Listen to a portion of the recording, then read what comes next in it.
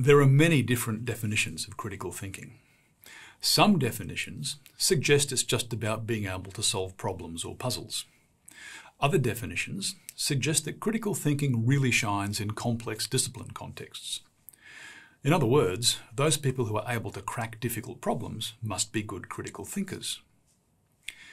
Because of this perceived connection between critical thinking and complex subject matter, there are also some definitions that equate expertise with critical thinking. It's possible, however, to be working in quite sophisticated areas without necessarily employing much critical thinking at all. Critical thinking is not just about thinking in contexts. It's also about making your thinking itself an object of study. The thing that critical thinkers are most critical about is the quality of their thinking. While it's true they may be thinking about their subject area, they are also aware of the inferences they are drawing, of the need to develop broader perspectives, of the desire for clarity, accuracy, and precision in their work, of needing information to be both relevant and significant, and so on. Cognitive skills include justification, analysis, interpretation, synthesis, evaluation, explanation, and identification. They also include creative skills such as speculating, generating, and hypothesizing. It's important to realize that things such as problem solving and decision making are not cognitive skills as such. These things are processes that require cognitive skills, but are in themselves something different. To effectively solve problems or make decisions, we need skills such as analysis, evaluation, and justification. Problem solving and decision making are processes in much the same way that creativity is a process. Teaching students how to use these cognitive skills requires much more than providing them with a definition of the skill. It even requires more than simply giving them examples of these skills in action. We need to think of the teaching of cognitive skills as more like coaching than either defining or illustrating. In other words, we need to get students to do these skills so that we can feed back to them on how well they are being done.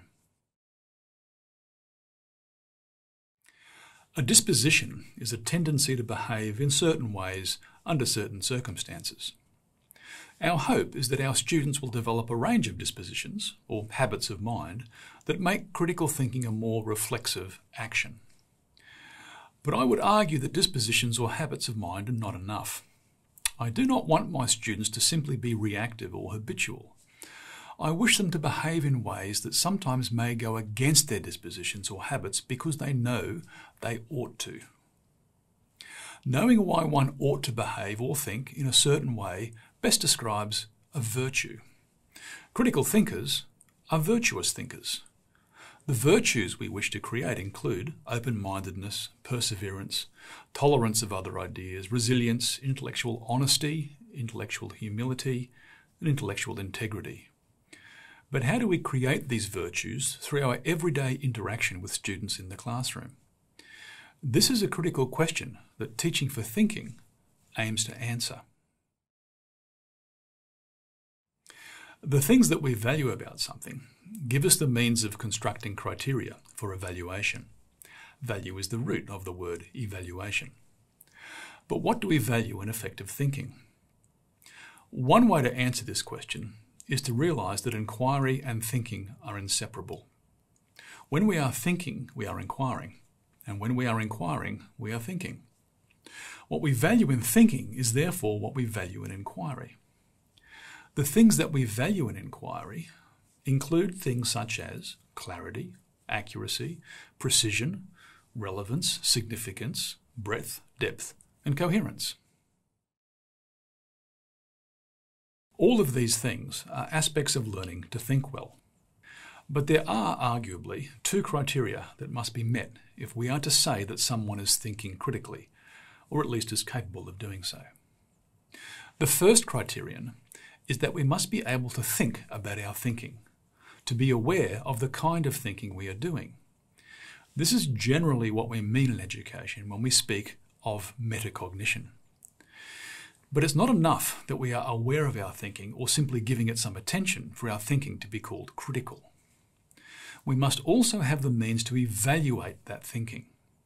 We must be able to apply some kind of criteria or standards about what makes for good thinking and recognise bad thinking. Critical thinking, then, is both metacognitive and evaluative.